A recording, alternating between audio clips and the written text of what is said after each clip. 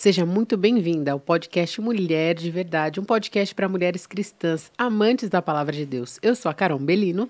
E eu sou a Bruna, estamos aqui diante de uma mesa posta para tomarmos um chá entre amigas e estaremos aqui todas as semanas com vocês. Então, antes da gente começar, já vai lá, esquenta a sua água. Eu não sei se você vai tomar chá, se você vai tomar café, o que você vai fazer, mas prepara a sua xícara porque a gente quer que você tome chazinho junto com a gente, que você tenha um tempo, que você faça desta nossa mesma prática aí. Então, que você chame suas amigas para conversar sobre assuntos que são importantes para vocês, que você converse com a sua família, que a mesa faça parte, porque a gente vive uma vida tão corrida, né, Bru, que gente, é, não faz parte a mesa. E se você quiser saber mais sobre a gente, sobre os conteúdos que a gente tem, né, para oferecer, você pode seguir a gente lá no Instagram. Para quem não sabe, a gente tem um perfil do Design Divino no Instagram. Deve estar tá aparecendo aqui embaixo para você, ó, Design Divino IPP. Pega o celular e segue lá. E lá você também pode fazer posts, assistindo aqui o, o, podcast, pode fazer perguntas, tá bom? Estaremos lá. Eu quero ver a sua xícara lá, porque as meninas estão fazendo uma coisa super legal. Elas sentam na frente da TV com a xícara, tiram uma foto e marcam a gente. Eu quero ver você com a sua xicrinha lá, hein? Gente, hoje nós estamos aqui com uma convidada muito especial. Mas a gente vai fazer um suspense. Suspense. Ela é casada, a primeira dica, ela é casada com um pastor há 21 anos. E eles têm três filhos: a Bianca, o Samuel e a Nicole. Ela é professora da escola dominical e também atua com as mulheres em sua igreja local. Ela ministra em conferências para mulheres também e tem um perfil de mulheres lá no Instagram. Agora vai revelar. Quem será? Ela é a Nathalie Campos. Seja bem-vinda, Nathalie. Obrigada, obrigada, queridas. Um prazer estar aqui com vocês essa noite. A Nathalie, ela é esposa do pastor Eber Campos. E para quem ainda não segue o perfil dela no Instagram, também vai aparecer aqui para vocês. É Nathalie E. G. Campos. Segue lá também é uma benção, não percam. Não tem só coisas sérias, tem coisas divertidas. A gente estava brincando aqui das polêmicas legais, saudáveis que acontecem lá. Nathalie, nosso podcast a gente sempre começa com uma pergunta para os nossos convidados. Uhum. E a gente queria que você respondesse: quem é Jesus para você? Quem é Jesus para mim? Jesus é o meu Salvador, é aquele que deu a sua vida por mim, que me tirou de um lugar de trevas, apesar de eu na época, não sabia que eu andava em trevas, que eu estava em trevas. E ele me tirou de lá para a sua vida eterna.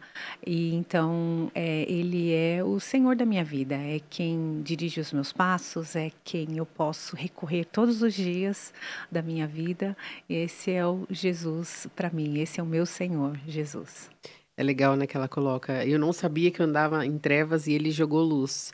E hoje a gente vai conversar um pouco sobre alguns assuntos que muitas vezes a gente anda na escuridão nesses assuntos também, né? uhum. né? A gente não conhece o que o Senhor espera de nós.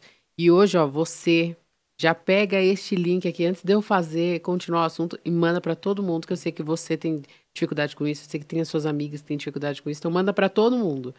Porque hoje a gente vai conversar um pouco sobre a mulher e o trabalho, né? Uhum. E eu queria já começar logo perguntando: o que, que é o trabalho na Bíblia? A Bíblia fala sobre isso, ela define esse tema. Uhum. A gente não encontra um, a definição de trabalho na Bíblia, isso não. Mas tem uma definição maravilhosa que o pastor Tim Keller, né, que acabou de falecer, dá no seu livro é, sobre trabalho. Ele fala assim que trabalho é qualquer coisa que a gente pegue e transforme, alguma coisa que a gente pega da criação, transforma e serve alguém com aquilo. Então, assim, você pensa, um, uma pessoa que pega um couro, transforma aquilo num sapato e vende e serve outras pessoas com aquele produto. Isso é trabalho. Então, é você pegar alguma coisa, transformar e servir outros. Então, você, já daí a gente já percebe que o trabalho não é para gente, é para os outros. É uma mulher que está em casa, que pega farinha, que pega o ovo, que pega o açúcar, que pega o fermento, o leite, mistura tudo aquilo, faz um bolo e serve a sua família. Isso também é trabalho. Apesar de muitas de nós, de muitas, gente, muitas pessoas não acharem que você trabalha quando você está em casa, a gente trabalha de maneiras diferentes. Então, trabalho é isso, você pegar alguma coisa, transformar e servir outras pessoas com isso. Pode ser um produto ou um serviço também. Nós temos vários serviços hoje, né? Que você não tem um produto ali que você carrega, põe na bolsa, mas é um trabalho, você está servindo as pessoas com isso. Então, o trabalho é um serviço. A gente serve. E a gente fala isso, né? Estou indo para o serviço. Né? É porque a gente uhum. serve outras pessoas com o que a gente produz, com o que a gente faz, com o que a gente é, é, desenvolve ali durante os nossos dias. Então, isso é trabalho. Na Bíblia tem trabalho? Tem, claro que tem. Desde o primeiro verso da Bíblia a gente vê trabalho. Porque o nosso Deus é um Deus trabalhador. É um Deus criador. É um Deus criativo que criou todas as coisas, que trabalhou desde o primeiro dia.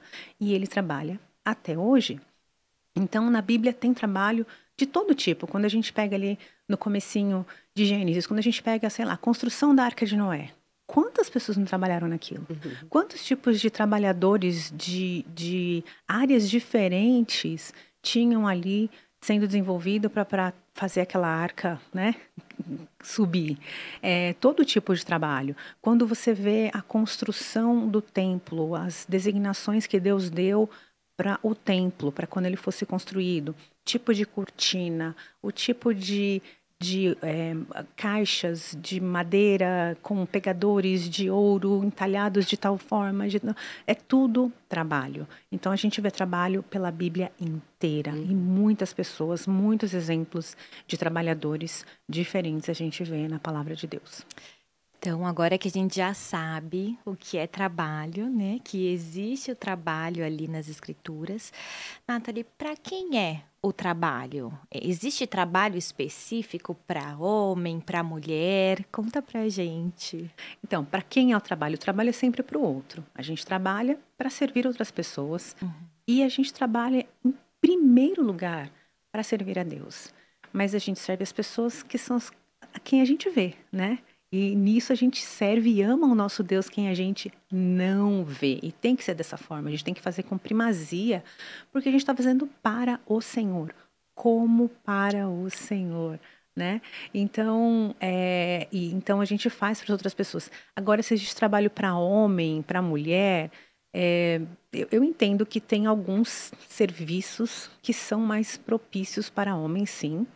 Né? Se a gente pegar sei lá, a área da construção, que é uma coisa pesada. Deus formou o corpo do homem, deu a ele músculos e uma capacidade de carregar peso que a maioria das mulheres não tem. A maioria. Algumas mulheres são bem, bem fortes, uhum. fisicamente falando, né? Mas, então, a gente vê, a maioria dos, das pessoas que trabalham construindo, tem um edifício construindo do, do, lado da minha casa agora, em reforma, na verdade, é 100% homens que estão tá trabalhando lá. A gente não vê mulher. Né? Hoje eu passei um, numa rua que eles estavam cortando galhos de árvores. Tinha uns 15 homens e uma mulher. E ela estava inspecionando. Ela estava com equipamento de segurança, mas eu, ela estava assim, apontando e dando ordem. Quem estava lá em cima, pendurado na árvore, que subiu na escada com a serra na mão, era um homem. Então, tem sim alguns trabalhos que são mais propícios para o homem, por conta da maneira como Deus construiu o corpo deles. E para a mulher também. Tem algumas coisas que parecem que nós temos mais facilidade em fazer. Não quer dizer que ah, isso é só de mulher, isso é só de homem, né? Mas algumas coisas assim que, que a gente tem mais facilidade, que os homens têm mais dificuldade. Você dá uma peça de roupa para eles dobrarem, uma camisa para eles passarem. Muitos vão ali rodar, virar e não sei o que, a camisa vai sair mais amassada do que ela começou, né? Mas tem homem que passa roupa melhor que a mulher uhum. também. Então, não, eu acho que assim, principalmente dentro de casa, não tem muito serviço de homem ou serviço de, só de mulher. A gente tem que tomar até cuidado com isso. Mas na vida no geral, eu entendo sim que o Senhor, por ter nos formado de maneiras diferentes, a gente consegue exercer é, trabalhos diferentes.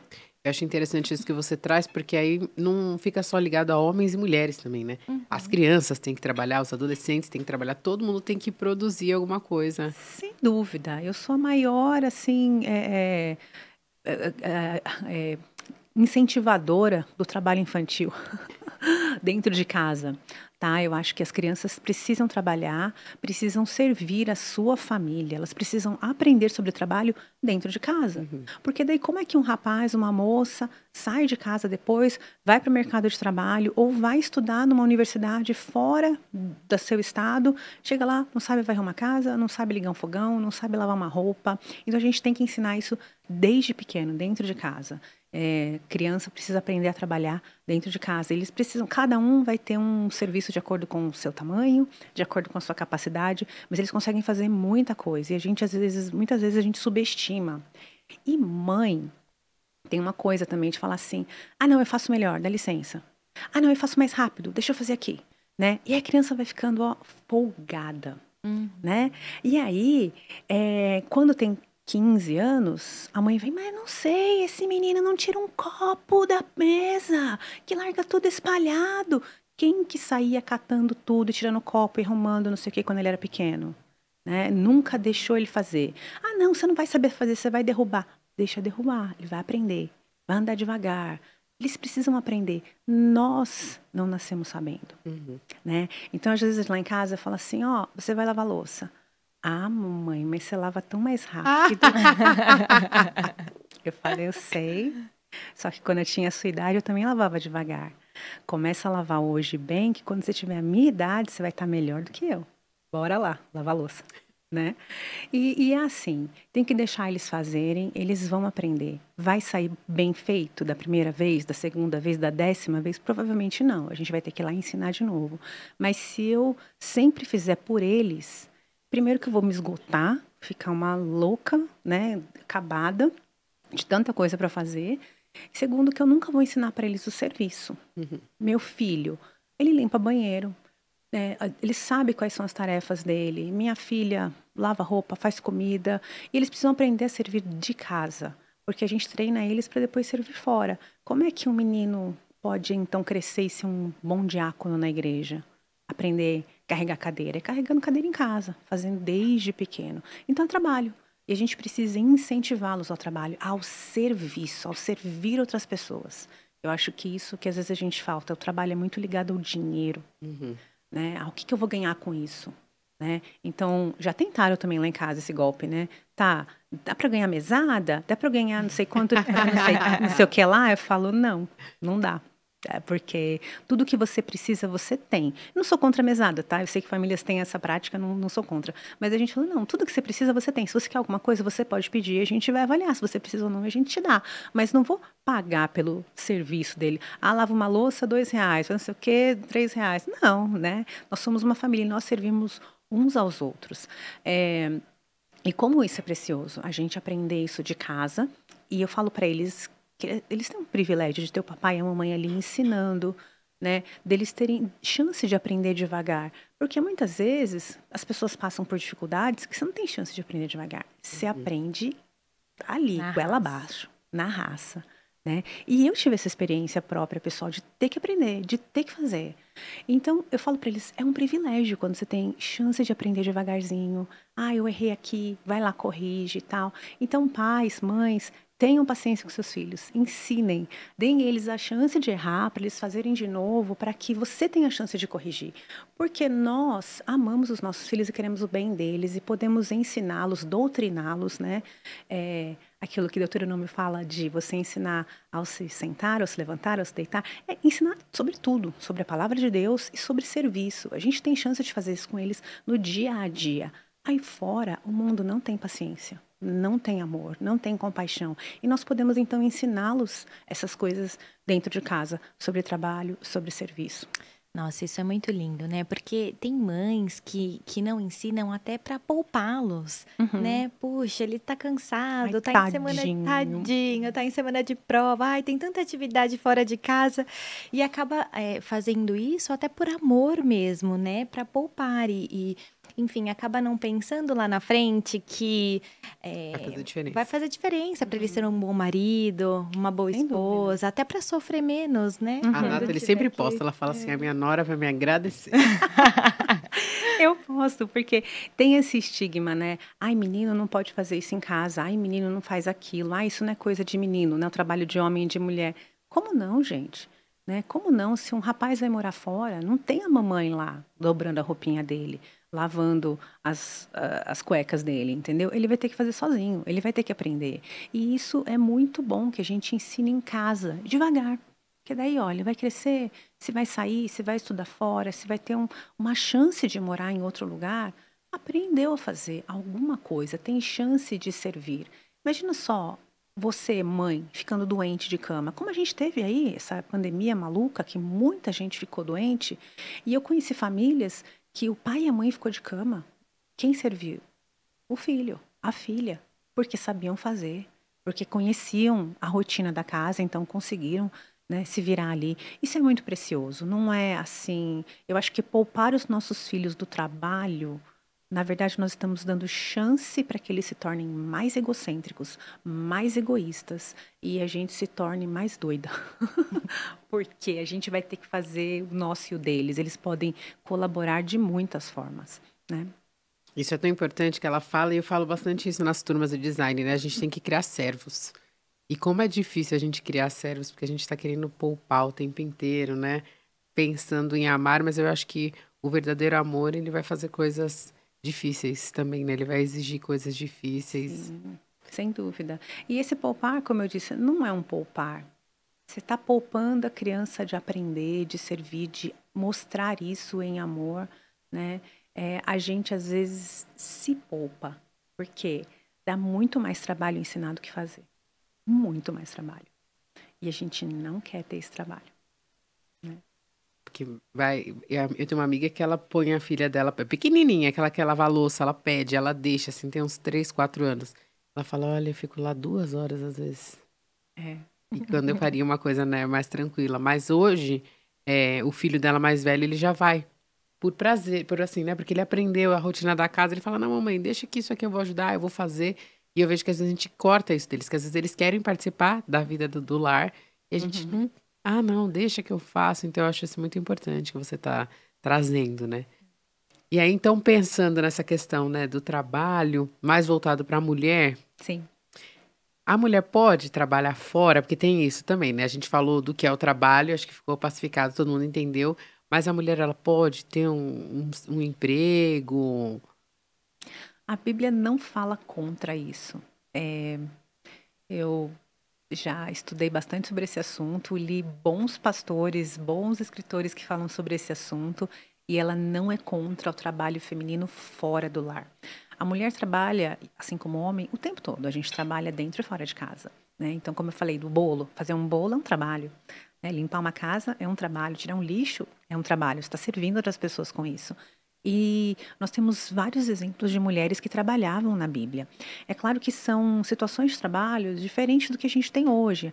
É, boa parte da história que a gente tem na Bíblia são é, de famílias, de trabalhos, mais ali dentro de casa. As pessoas criavam um animal, tinha uma criação, uma plantação, então a família inteira trabalhava naquilo e a renda vinha daquilo, então era um trabalho a partir da casa, a partir do lar. Então você vendia lã, vendia carne e a partir dali da sua casa, né? Depois da Revolução Industrial é que essas coisas começaram a ficar mais dispersas, é que o homem saiu e que daí você tinha é, distâncias para percorrer, para trabalhar em fábricas e coisas assim.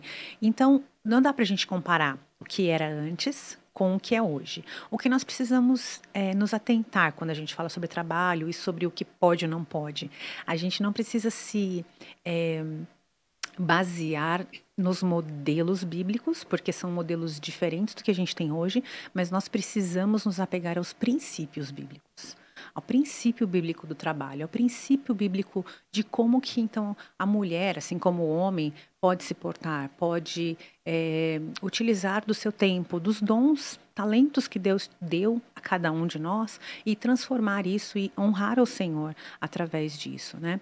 Então não tem nenhum lugar da Bíblia que fale que a mulher não pode trabalhar. Tem gente que vai talvez usar um versículo ou outro para falar sobre a mulher ficar dentro de casa, a mulher né, no lar e tal. E eu acho que isso é muito honroso. É muito bom que a mulher se importe com o seu lar, assim como é bom para o homem também. Nós precisamos nos importar com o nosso lar e ter isso como prioridade na nossa vida. E por lar, eu quero dizer assim: é, eu sempre dou esse exemplo. Se você está dentro da sua casa, a casa a, a, o, o, caixote, né? Eu digo assim, o, a, a, construção, e está pegando fogo. O que, que você pega pela mão e carrega para fora? Isso é o seu lar. Tá, tá pegando fogo. O que, que você vai lá e tira lá de dentro, do meio do fogo, e carrega para fora? Isso é o seu lar. É o seu marido, é o seu filho, é a sua bolsa, é o que, que você carrega para fora. Então a gente tem que ter como prioridade o nosso lar. Porque a casa, ela passa. A gente muda. Ela pega fogo. Ela acontece coisas diferentes. O nosso lar são aquelas pessoas que a gente carrega com a gente e que vão estar conosco por muitos e muitos anos. Essa é a minha prioridade. É, então, o que quer que eu faça? Eu preciso priorizar o meu lar. Ah, então, daí é um problema, porque para muitas pessoas, não só mulheres, a prioridade passa a ser os de fora. E daí isso é um problema. Então, assim, o trabalho em si não é pecaminoso para a mulher, é muito honroso se ela pode, se ela trabalha fora, é, assim como é honroso se ela fica no lar também, hum. contanto que a sua prioridade, que se ela fica em casa também, contanto que a sua prioridade seja o lar. E isso não quer dizer assim, número de horas, porque às vezes ela vai passar 10 horas fora de casa e apenas duas horas ali com os filhos, né? Então ela fala, ah, então a prioridade então é o serviço porque fica mais tempo fora. Não necessariamente, né? Muitas precisam trabalhar. A gente vive num país hoje em que a porcentagem de mulheres que podem ficar em casa, não, não precisam trabalhar fora para completar a renda, é uma porcentagem muito pequena, é muito baixa. E então, às vezes a gente vê essa disputa entre as mulheres, né, de ah, eu trabalho fora, eu sou superior a você que só fica dentro de casa, ou então as que ficam dentro de casa falam, ah, você que trabalha fora, você não cuida da sua família, né? Uhum. Então a gente vê essas disputas acontecendo, inclusive dentro da igreja que deveria ser um lugar acolhedor, que deveria ser um lugar de vamos caminhar juntas, vamos crescer juntas. Não, é um lugar onde tem esse tipo de, de intriguinha. E isso não é bíblico, isso não vem do Senhor. E se a gente continua alimentando esse tipo de coisa, a gente enfraquece o corpo de Cristo. Sim. Porque se um dedinho está machucado, o resto do corpo padece. Né? E a gente deveria se alegrar com as conquistas dos outros. Então, o trabalho em si não é pecado. Agora, por que, que você trabalha? Qual que é a sua satisfação em trabalhar? Por que, que você quer trabalhar fora? Por que, que você quer ficar em casa?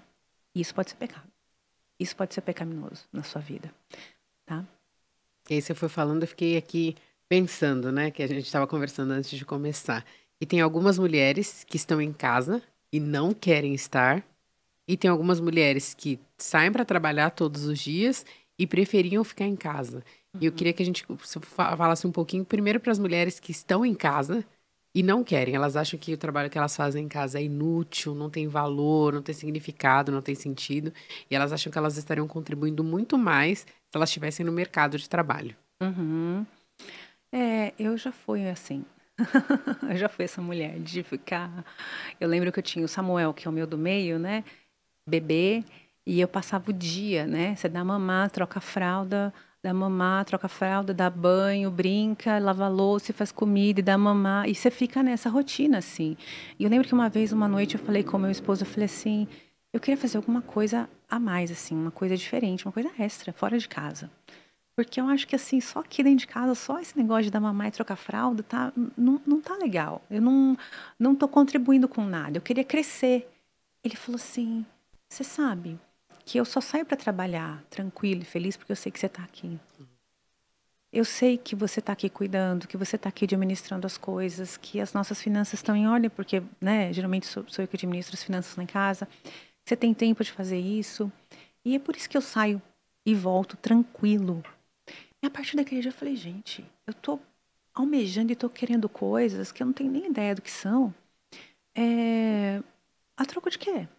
a troco de, de dar prioridade a sonhos meus, né? Então, naquele momento, eu falei, Senhor, me dá calma para ser uma mulher que trabalha em casa. Ele nunca me proibiu de trabalhar fora, veja, nunca foi isso. Mas foi essa conversa de me tranquilizar, de falar, olha, o seu trabalho é muito bom. E ele toda manhã ele eu falo para ele tchau, bom, bom dia, bom trabalho. Ele fala bom trabalho para você também, porque uhum. é trabalho, né? Então se você está dentro de casa e você se sente inútil, você está com seus olhos, com o seu foco no lugar errado.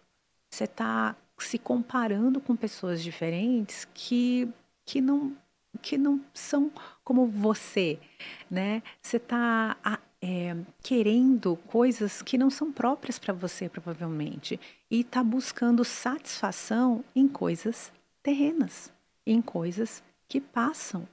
E a gente precisa ter satisfação no Senhor, satisfação na nossa porção diária. Se Ele está permitindo que você fique em casa, que você cuide do seu lar, da sua casa, das pessoas que ele, das pessoinhas ali que o uhum. Senhor te deu nesse momento, se alegre nisso, né? Tenha regozijo nisso, nessa oportunidade que Deus tem te dado de cuidar. Quantas mulheres têm desejo, né? Como você falou do segundo caso, de ficar, de cuidar, de ver a criança andar, de crescer. E isso foi também uma coisa que me despertou, porque é, eu estava até lendo um artigo, né? Quando o Samuca era pequeno, assim, nessa fase, de uma mulher que falou assim: Ah, meu marido, ele toma café quente, ele come comida quente. Durante o dia dele, ele conversa com adultos. Ele toma banho de manhã, se arruma e sai arrumado, bonito. Ela falou assim: Eu não, eu passo metade do meu dia de pijama, tomo café frio, como o resto de comida das crianças. E não sei o que, ela foi falando das coisas dela, depois ela falou assim: Só que eu tenho a oportunidade de ver meu filho falar as primeiras palavras, de fazer de vê-lo andar, segurar na mãozinha dele. E aí eu comecei a ver isso, eu falei, gente, como é verdadeiro, como eu tô em, em, troca de achar que eu vou receber alguma coisa muito maior saindo de casa, eu estou desprezando o que Deus tem me dado. E eu comecei a valorizar. Todas as manhãs que eu punho meu neném no carrinho e saía para andar ao redor do quarteirão e tomar sol. Eu falava, que bênção. Quantas mulheres podem fazer isso que eu estou fazendo? Botar o neném no carrinho e simplesmente sair de casa, andando pelo quarteirão e tomar um sol na rua com o nenê. Então eu passei a valorizar isso mais do que olhar para os outros e cobiçar o que outras pessoas tinham, porque é pecado, né? A gente peca quando a gente cobiça as coisas que a gente não tem e despreza o que Deus tem nos dado. A gente é insatisfeito. E o nosso coração é constantemente insatisfeito, né? E a gente acha que aquelas mulheres que estão lá, que estão tendo algum sucesso na vida profissional, são tão melhores do que a gente, são tão mais realizadas. E às vezes, conversando com elas, a gente vai perceber que não. Né? Então, é encontrar satisfação na porção diária que o Senhor tem nos dado hoje. Isso quer dizer que você nunca vai sair para trabalhar? Não, pode ser que o Senhor um dia te dê chance de desenvolver alguma coisa é, fora de casa, mas entenda que você já trabalha, que você já faz coisas muito preciosas né? e não desperdice essas oportunidades. Nossa, você falando, né? Eu fui me lembrando de algumas situações porque é, muitas vezes as mulheres já querem uma resposta pronta. E querem ter regras. Mulher pode trabalhar, sim ou não, né? E, e na verdade, o Senhor tem um chamado especial e particular para cada mulher. Uhum. Então, por isso a importância da gente é, ter intimidade com Deus, né? Fazer as devocionais, para que a gente realmente possa entender qual é a vontade dele para a minha vida. E é muito normal, como você falou, né? Da gente olhar para o lado e, e, ver. Tem até um, um, uma frase que diz a grama do vizinho é mais verde que a nossa.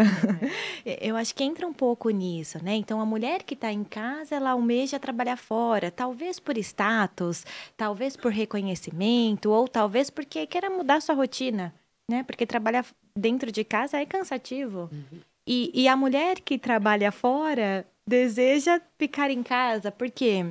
Para ver os filhos, né, de perto, para acompanhar. Então, assim, eu creio que é, existe essa questão mesmo é, da gente se satisfazer no Senhor. É o uhum. contentamento, né, Exato. né, no Senhor. Então, é, eu acho que isso é muito importante, não ter regra, né, e, e ser feliz com aquilo que o Senhor, com a sua família, com a família que o Senhor te deu né, e com a sua missão e fazer tudo para a glória de Deus. Uhum. Né? Então, dentro de casa, eu também aprendi isso é, numa palestra com uma mulher muito querida e ela dizia assim: se você vai passar roupa e você não gosta de passar roupa, aproveita esse momento para orar pela pessoa que vai usar aquela roupa, uhum. né? Uma camisa difícil de passar, passa a camisa orando, Senhor, abençoa meu marido que vai usar essa camisa neste dia de trabalho. Então, assim, é, depois que eu aprendi isso, mudou uma chave, sabe, na minha vida.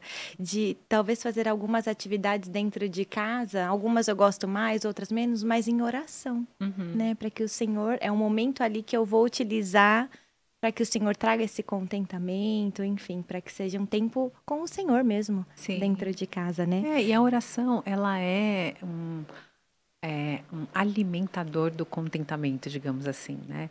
Quando a gente ora agradecendo pelas coisas que a gente tem, a gente para de alimentar a nossa insatisfação, de alimentar a murmuração e a autocomiseração. Ai, coitadinha de mim, porque eu passo o dia inteiro dentro de casa, porque eu só troco fralda de nenê, porque não sei o quê. Quando a gente começa a observar as bênçãos de Deus na nossa vida, suas benesses, e agradecer por isso, por coisas simples. Senhor, obrigada porque eu tive chance hoje de sentar eu tive um prato de comida. Senhor, obrigada porque os meus filhos estão saudáveis, porque eles têm roupa para o frio. A gente começa a, a ver quantas bênçãos e para de ficar alimentando a insatisfação, né? Uhum. E aí, pensando em tudo isso, né, que a mulher pode fazer ou que ela já faz, como é que a gente pode descobrir a nossa vocação, Nathalie? O que que você pensa sobre isso, sobre vocação? Então, vocação é um chamado, né? Vocação vem de voz. E quem que nos chama para trabalhar? É Deus. Desde o começo, lá com o primeiro homem e a primeira mulher, lá em Gênesis, né? Quando Deus falou para eles, é, para eles cultivarem, guardarem o jardim, para que eles dominassem sobre a criação, era Deus colocando ali o homem e a mulher para trabalhar desde o começo. E você vê, não tem uma diferenciação. Olha, mulher, você só vai ficar nesse lado do jardim cuidando das flores, tá? E o homem vai para aquele lado de lá arrancar a mandioca do chão, sei lá, que é um trabalho. Não, é os dois que tinham que cultivar e guardar. Os dois que dominavam sobre a criação. Isso não mudou. Nós continuamos dominando sobre a criação. O homem, ele é o ápice da criação. Então isso influencia até na maneira como nós lidamos com essas questões de preservação ambiental, de animais que as pessoas colocam acima de pessoas, porque nós estamos acima deles. Nós estamos acima dos animais. Isso quer dizer que a gente pode então destruir tudo, queimar tudo, usar tudo, maltratar animais? Não, de jeito nenhum. Não é isso. Nós precisamos cultivar e guardar. Mas é, a gente precisa tomar cuidado, porque essas coisas foram feitas e elas nos servem. Nós não podemos servi-las. Senão nós estamos idolatrando a criação e não estamos fazendo bom uso dela, tá? É, então a gente, nós fomos chamados para trabalhar. E aí nisso, nessa tal da busca pela vocação, às vezes a gente se perde ou a gente fica a vida inteira tentando buscar qual que é a minha vocação, o que que Deus quer para mim, o que que Deus quer que eu faça. E aí eu sempre me lembro da primeira pergunta do catecismo, né? Qual o fim principal do homem? E eu falo também qual o fim principal da mulher, que é glorificar a Deus e se alegrar nele para sempre. O que você faz? Você glorifica a Deus? Você se alegra nele? Você glorifica a Deus trocando uma fralda? Você glorifica a Deus limpando um banheiro e você se alegra em Deus no que Ele tem te dado? Você está cumprindo o chamado do Senhor para trabalhar. Você se alegra no Senhor, você glorifica a Deus no seu trabalho fora de casa, você trabalha fielmente, você serve os seus é, chefes de uma maneira fiel, você trabalha de uma forma honrosa, que respeita as pessoas, você é uma pessoa humilde, você glorifica a Deus e se alegra. Então você está cumprindo a vocação, o chamado de Deus. O que é difícil às vezes é que a gente fica assim: ah, a vocação, eu sou de humanas. Então, se eu não trabalhar com humanas, eu nunca vou estar agradando a Deus, uhum. porque só apareceu alguma outra coisa em outra área para eu trabalhar. E a gente tem que tomar cuidado com isso. A gente pode honrar o Senhor em, em muitas áreas diferentes, né? Então, é aí assim, essa questão de dons, de facilidade e tal, aí muitas vezes a gente vai, a gente vai descobrindo facilidades que vão, vão aparecendo para gente. Você fala, poxa, eu consigo escrever muito melhor do que eu faço conta, que é o meu caso, né? Então, é, mas eu a gente então honra o Senhor escrevendo. Se eu tiver que fazer conta, vou precisar honrar o Senhor fazendo conta também, né? Então é, é, se, é se entregar e atentar-se para quem nos chama, para quem nos vocaciona, para quem usa a sua voz para falar, venha, me glorifique, que é o Senhor. E aí, pensando nisso, como que a gente pode trazer esperança para as mulheres que estão no mercado de trabalho, mas não gostariam de estar? É, tem muitas que precisam trabalhar, como eu falei, no nosso país e em muitos países. tem uma porcentagem muito pequena de mulheres que não precisam trabalhar fora. E esse não precisa ainda assim é meio é, diferente de um estado para o outro, de uma cidade para outra, né? Mas é, eu conheço várias mulheres que gostariam de ficar em casa em tempo integral e de falar, eu não, não queria trabalhar fora mais. Eu queria ter esse tempo a mais com os meus filhos, com meu marido, não queria ter que chegar em casa tarde da noite, super cansada e tal. Mas não dá é, para cobrir as contas. Então, assim, o que eu falaria? Avalie a sua situação, avalie as suas economias, su o seu estilo de vida. Se o que você quer realmente é ficar em casa, converse com seu esposo. Orem juntos sobre isso. Veja se vocês conseguem um, administrar, ajustar as contas, as finanças, para que vocês, então, diminuam uma coisinha aqui, outra ali, né? Eu vi várias famílias fazendo isso, para que a mãe, então, possa ficar em casa. Se não é possível, honre ao Senhor trabalhando fora. É, e tente dar ainda assim o seu melhor para o seu lar. Nunca descuidando dos seus filhos, do seu marido, né? É, e, e, tentando sempre estar envolvida na vida deles ali o máximo que você puder. É difícil? É difícil. Não é fácil, mas não é fácil para ninguém. Né? Para quem está dentro para quem está fora. E mas o Senhor, ele promete que nunca vai nos abandonar. E ele não é só um senhor como nosso chefe. Ele é um senhor em que o seu poder é ilimitado, ele é eterno, em que ele sempre nos ouve, ele fala que ele sempre tem os seus ouvidos atentos, ele se inclina para ouvir a nossa oração. Clame a esse Senhor, fale com Ele, peça a Ele sabedoria, contentamento, peça a Ele paz para que você continue trabalhando fora, mesmo nos dias que você fala, poxa, eu gostaria muito de ficar em casa, mas não é possível. E essa é uma realidade de muitas mulheres, mas muitas mulheres, muitas mães solteiras, que se elas não forem para fora de casa para trabalhar, o filho não tem o que comer, não tem um casaco para vestir no frio. É a realidade de muitas viúvas. É a realidade de muitas mulheres em que seus maridos estão é, acamados e elas precisam sair para trabalhar porque agora o marido não pode mais fazer isso. É a realidade de muitos casais em que o marido não ganha o suficiente para pagar o aluguel, pagar a conta de luz, de gás, de é, água, comprar comida e comprar roupa para os filhos e tal. Então, eu conheço muitas famílias que ambos trabalham. Não é para ter dois carros, não é para ter todas as plataformas de, de, de canais aí de filmes, não é para viajar uma vez por ano para o exterior, não. Trabalha para pagar pro arroz e feijão, eu falo. Uhum. Né? E isso é honroso. Veja isso como você trabalhando e imitando seu Senhor. O nosso Deus que trabalha até hoje é o nosso Deus trabalhador. E nós podemos imitar o nosso Deus é um privilégio muito grande. É um, um atributo do Senhor. Ele, ele, trabalha, ele é trabalhador. Então nós imitamos o nosso Deus quando a gente também trabalha e a gente serve outras pessoas com o nosso trabalho. A despeito de todas as dificuldades que esse trabalho fora do lar possa te trazer, continue perseverante, continue orando, pedindo ao Senhor satisfação e um coração é, ah, em paz que pode servi-lo fora do seu lar. É muito desafiador, mas é, é real, né? Esses dias uhum. o pastor Arival estava pregando e ele falou que 70% das famílias no Brasil são chefiadas por mulheres e as mulheres precisam sair para trabalhar, elas precisam, né, do, trazer o sustento para os seus lares. E aí eu fico pensando um pouco nas mulheres que não estão dentro desse 70% e querem sair para trabalhar. A mulher casada, uhum. Ela pode decidir: eu vou trabalhar e pronto, acabou, porque é minha hora, é minha vez, e meu marido tem que entender que o senhor está me chamando para isso, como é que funciona. É, os casados é, não são indivíduos separados, né? Eles são um a partir do momento que você casa. Apesar que, claro, você pode ter ideias diferentes, compartilhar, por exemplo, né? Eu acho que canela é uma coisa, a Eber acha que é outra. Qual a polêmica, qual a polêmica. Mas é, nessas questões assim cruciais, né, que, que envolve muita coisa da família, o casal precisa sentar e conversar e orar junto. E nós, como mulheres, nós não podemos desprezar a opinião do nosso marido. Eu não posso simplesmente falar, não, agora é minha vez e acabou, e você vai ter que entender e bater na mesa e sair, pronto. Eu não posso fazer isso. Porque quando eu me casei com ele, eu, eu concordei que eu seria uma com ele. Eu concordei que o meu corpo seria dele e ele concordou que ele seria meu.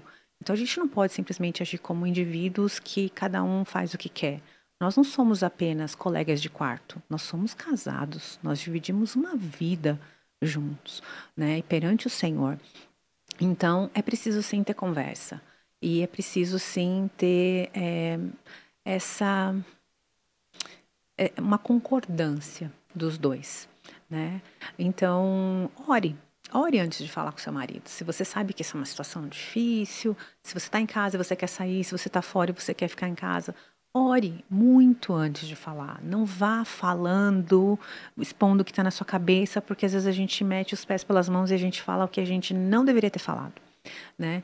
Então, ore. Peça que o Senhor te dê sabedoria. O que, que você vai falar? O que, que você quer? Por que, que você quer ficar em casa? Por que, que você quer trabalhar fora? Você acha que você vai ter mais valor trabalhando fora? Você vai valer mais perante o Senhor? Não. O mesmo sangue que me comprou, comprou CEOs que estão aí fora pelo mundo. Então eu tenho o mesmo valor em Cristo Jesus. Não sou menor ou maior do que outras, é, nem do que outras mulheres, nem né, homens. Então a gente tem que avaliar o que, que o nosso coração está querendo, aquilo lá. A mulher pode trabalhar fora, é pecado? Não, não é? Não, o trabalho em si não é pecado. Agora, o que, que você quer com isso e que pode estar te levando para o caminho do pecado. Então, ore antes de falar com ele e levante essa discussão. Eu acho que é importante, sim. E se houver discordância, eu ainda sou a favor da mulher se acalmar e man se manter onde ela está, até que haja uma concordância. Ela não saia fazendo, batendo o pé, em insubmissão ao, ao líder da sua casa. E Aqui a gente falou bastante para as mulheres casadas, né? Uhum. E para as jovens, Nathalie, que ainda estão se preparando para o mercado de trabalho, como que a gente pode incentivá-las, né, uhum. a amar o seu lar, mas também a se prepararem para o mercado de trabalho?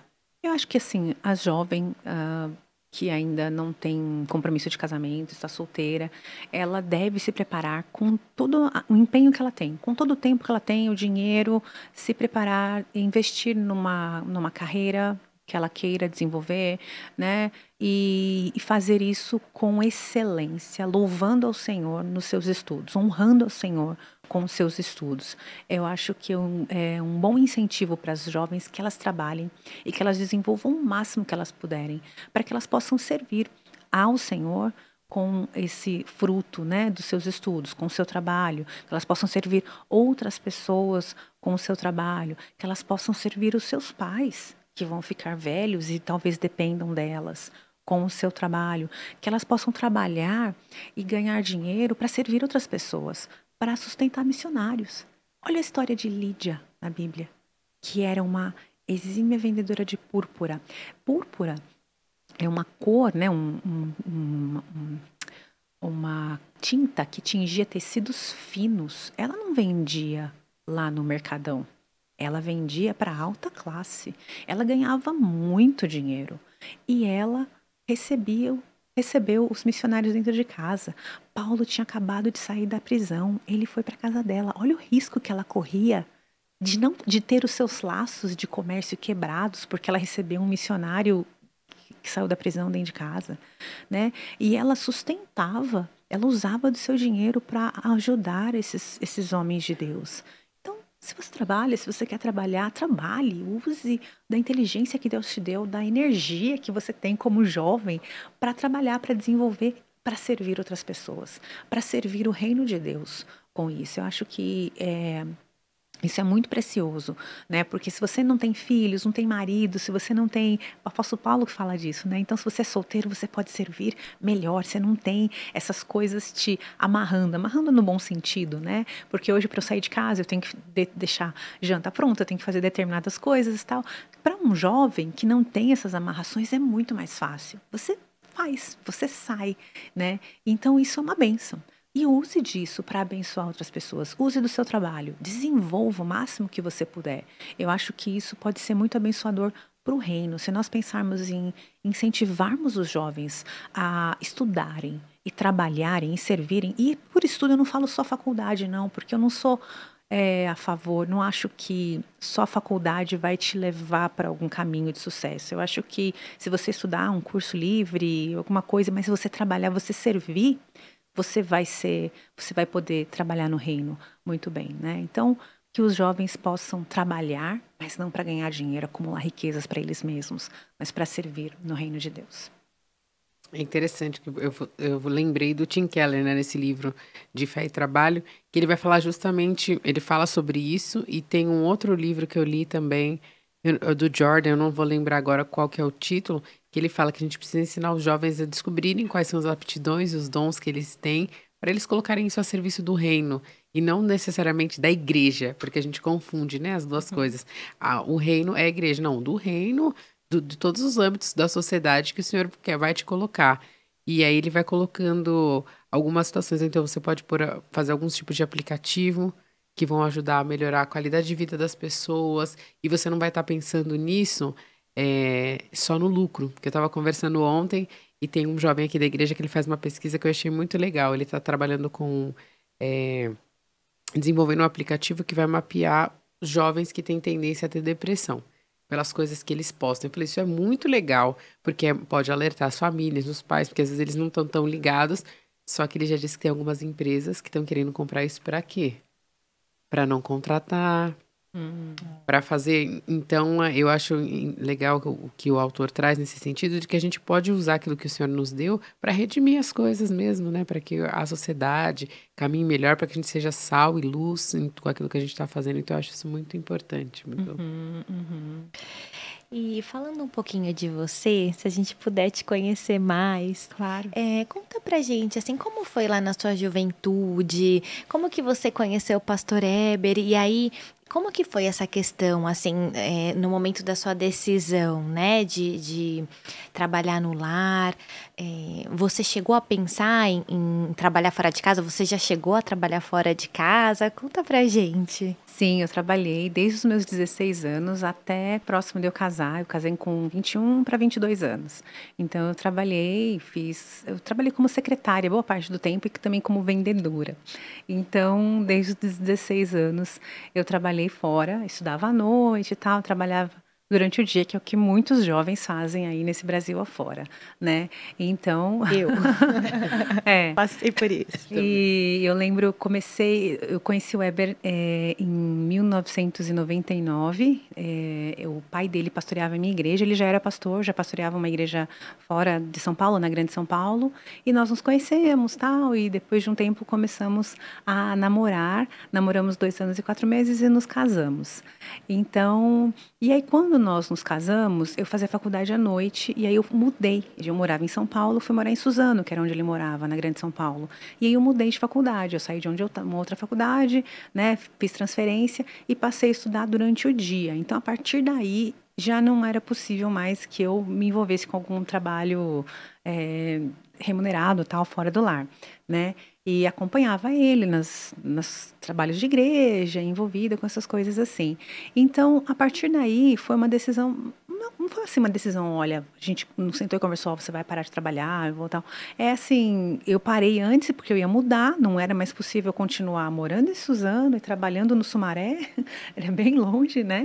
E também por conta dessa transferência de faculdade. E aí nós passamos é, quatro anos e meio fora do Brasil, ele fez doutorado nos Estados Unidos e lá nasceu nossa primeira filha, Bianca, nasceu lá em Michigan. E aí, a partir daí, quando eu voltei para o Brasil, eu fui terminar a faculdade, porque eu tinha trancado, quatro anos e meio atrás, né? Fui terminar, fiz mais um ano de faculdade. Quando eu terminei, eu já estava grávida do Samuca.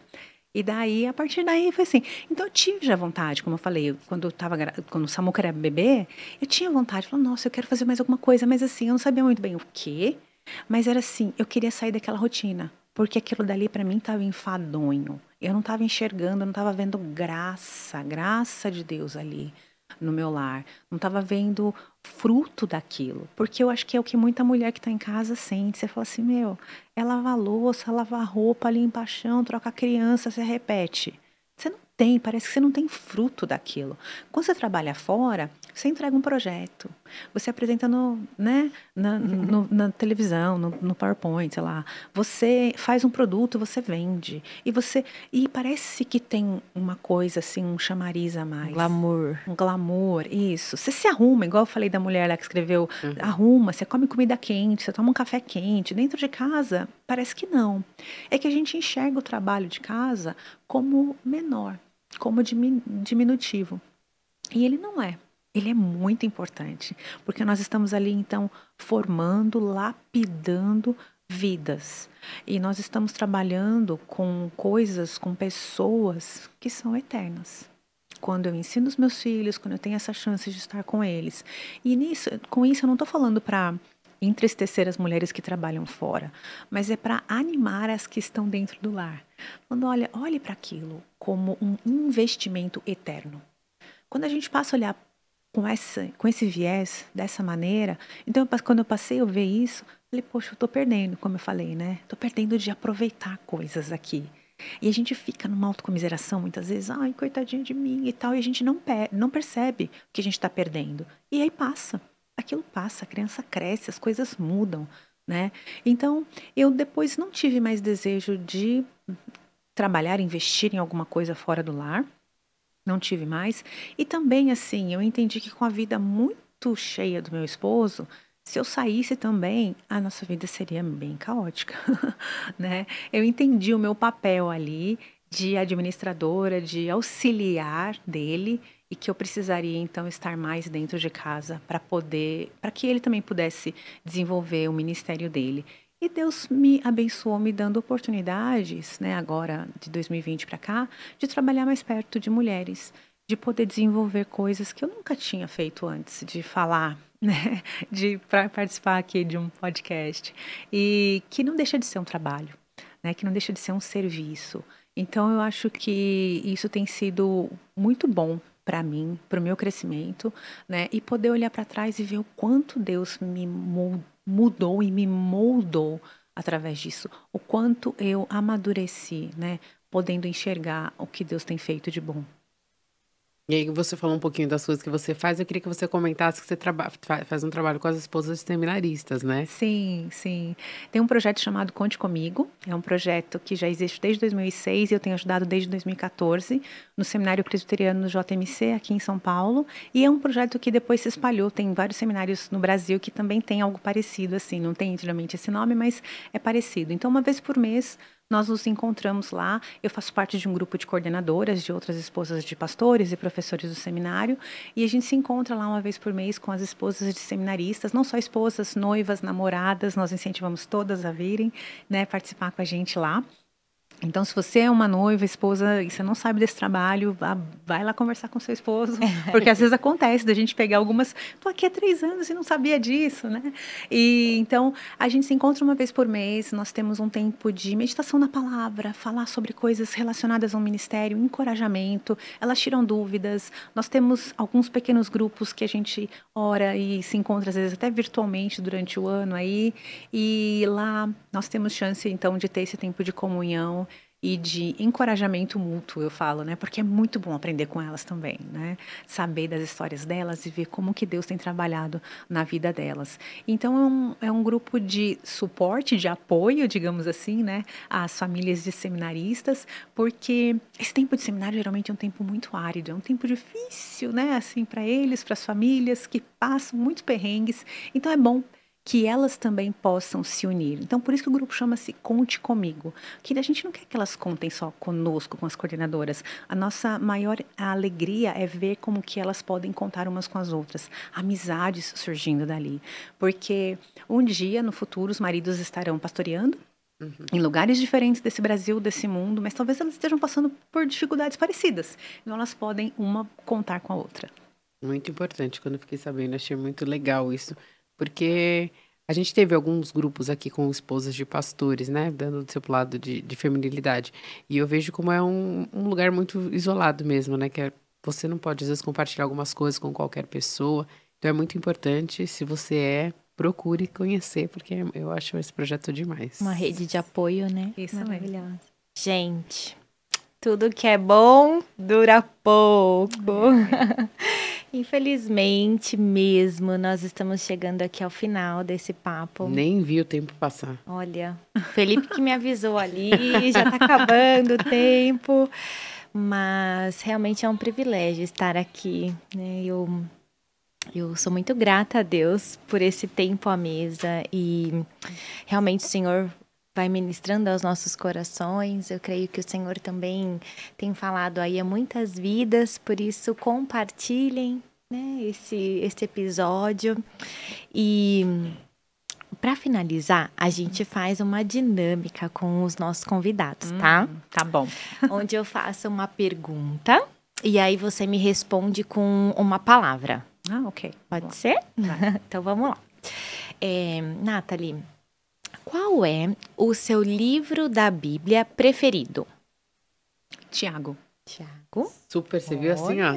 Nenhuma dúvida. Qual é o seu autor preferido? Meu marido. Ah! ah! Gostei, você viu, né? Você viu. Qual é a sua é, banda ou música favorita? Behold Our God, de Sovereign Grace. Olha só. Eu gosto também dos Gettys, Keith e Kristen Getty, uh, In Christ Alone.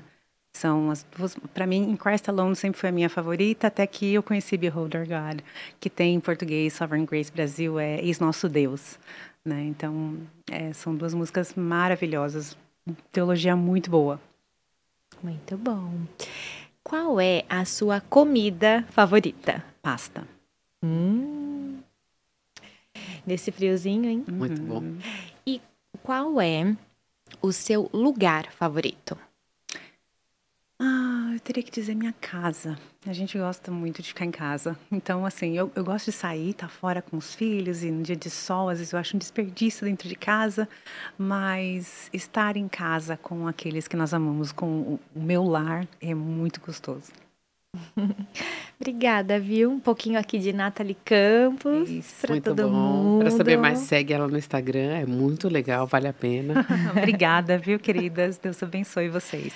Aqui no nosso podcast a gente também presenteia os nossos convidados.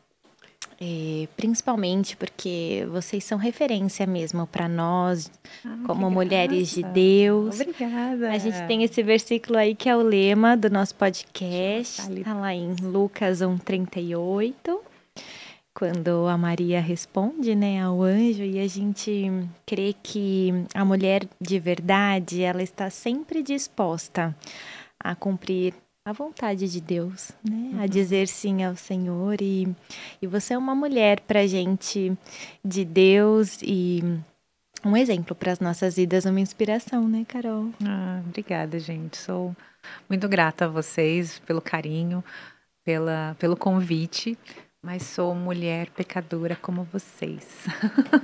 Não tenho nada de especial. Mas foi muito bom ter você aqui com a gente para conversar. Eu espero que tenha Obrigada. trazido consolo para algumas pessoas, tenha desafiado outras pessoas a pensarem. Isso. É um assunto difícil e que às vezes é, é, é não dá para falar tudo aqui, né? Assim, trabalho, tem bastante coisa para esmiuçar aí. Aí fica um convite, né, para vir outras vezes. Uma ah, próxima. Tá joia. Obrigada. Vai ser muito bom. A gente tem também aqui um lencinho que é a gente entrega também no ministério que a gente tem para as mulheres. É, Obrigada. Ele tem esses dizeres, sim, Senhor Deus. Ah, para você legal. guardar de, de lembrança. Com certeza. Você viu que chique? Ai, que graça! Do design divino. É. Muito bom. É a mulherada aqui não brinca em serviço, não. não. Que lindo. Amei. Obrigada, viu? Imagina. Então a gente agradece. Volte outras vezes aqui, que a gente quer continuar aprendendo com você. E agora a gente vai conversar com as meninas, né? Gente, pega esse link aqui e manda para todo mundo. Não tem desculpa para você não mandar e começa a pensar e a meditar se o Senhor, se você está onde o Senhor tem colocado você para estar, né? Se você tem alguma insatisfação, alguma questão, não deixe de procurar, conversar, falar sobre esse assunto porque ele é muito importante. Então, né, Bruna? A gente espera que você marque a gente lá no Instagram, põe a sua xicrinha que eu tô esperando para ver a foto. E a gente vai se encontrar semana que vem aqui para é conversar mais sobre outros assuntos, uhum. outros convidados. Obrigada por terem assistido esse episódio e até a próxima. Deus abençoe. Um beijo, meninas. Beijo.